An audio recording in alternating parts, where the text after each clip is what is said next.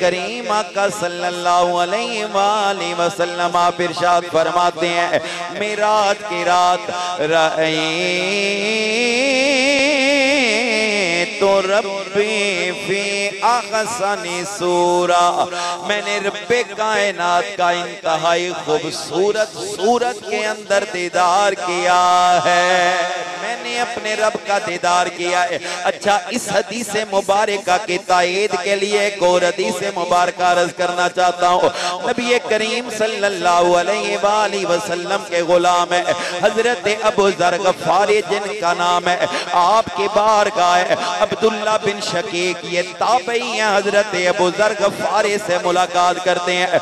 अब्दुल्ला बिन शकीक रदी अल्लाह नु आप कहते हैं, लो रई तु रसूल अल्लाह सल्लल्लाहु अलैहि वसल्लम, ला सअलतुहु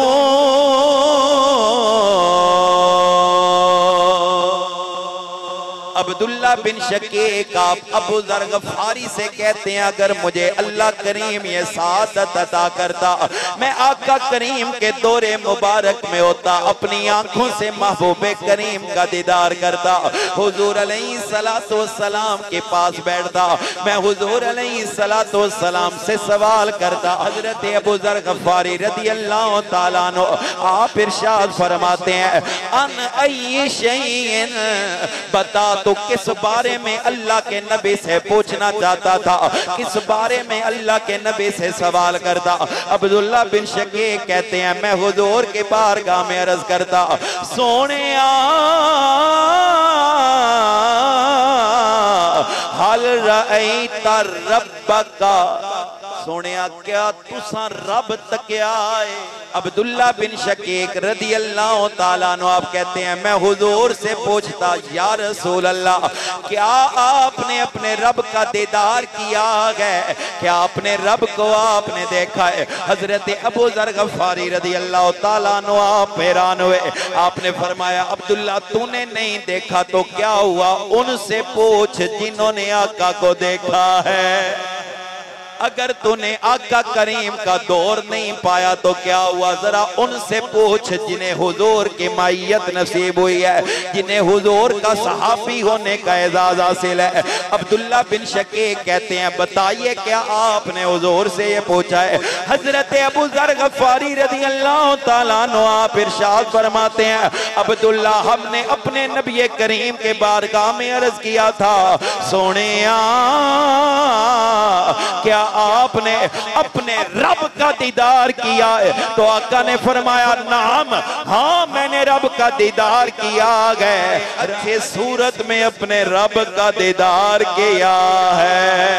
करीम सल्लल्लाहु अलैहि वसल्लम फरमाते हैं तो रब्बे पे अहसन सूरा। बुज़ुर्गों, आका करीम ने इस हदीस दे विच दो मसलियाँ दा हल दे छड़िया है साडे अकीदे नु साबित कर छड़िया है आका करीम फरमाते हैं, मैंने अपने रब का दीदार किया है, एक झगड़ा खत्म हो गया, दूसरी बात सुनिए।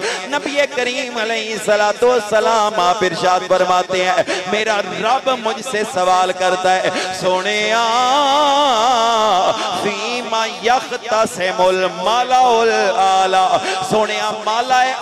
फरिश्ते आपस झगड़ा पे कर दे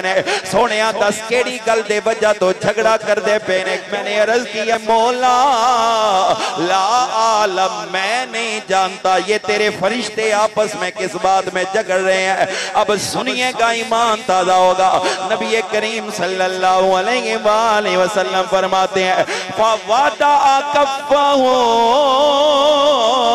बैना कतफैया रब करीम ने अपना दस्ते मुबारक, अपनी शान करीमी के लायक मेरे दोनों कंधों के दरमियान रख दिया है। तो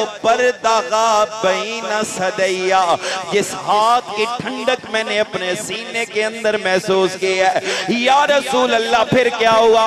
फरमाते हैं फालिम तुमा समावात वल अर्द। बस रब्बे कायनात के हाथ की बरकत है, जो कुछ जमीनों में गए अल्लाह ने उसका भी इल्म अता कर दिया है। जो कुछ आसमानों में गए अल्लाह ने उस उसका इलम बेअता कर दिया है।